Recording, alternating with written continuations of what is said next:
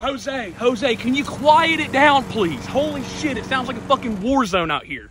Okay, you got a mute button on that thing? No habla inglés. I mean, I pay your fucking bills, man. Take a fucking lap, okay? I got 30 minutes till a meeting, and I can't even fucking think inside my own house because your ass is all out here with that bullshit, okay?